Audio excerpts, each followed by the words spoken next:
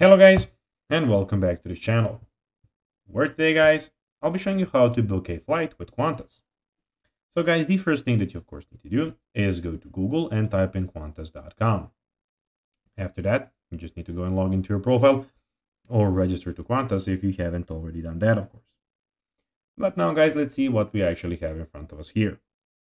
So as you can see in the uh, top side of the screen, we have the travel guides, flight deals, plan, book, and all of those things. And in the very middle of the screen, we have the book a trip option where you can, of course, go and book your trip. But now, guys, let's see how you can actually go and book a flight with Qantas. So when you're on the website, you need to go and enter travel details, including origin, destination, and travel dates. So basically, you can do that here.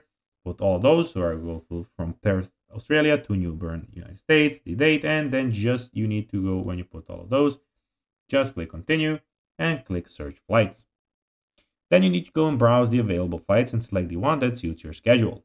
Choose your preferred fare type, for example, economy, premium, economy, business, or first class. When you click on flights here, you can check out the prices. Then fill in the passenger details, including name and any special requests. Proceed to payment and enter payment details to complete the booking you'll receive a confirmation email with your flight details and booking reference.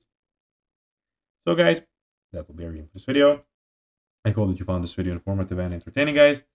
If you did, don't forget to like this video, share it, subscribe to the channel, and put the notifications on, as guys, this really helps us grow our channel. So if you have a few seconds, it will be pretty cool if you could do this for us. That will be everything for this video. I hope you enjoyed it, and guys, as always, I'll be seeing you in the next one. Until then, as always, Bye, guys.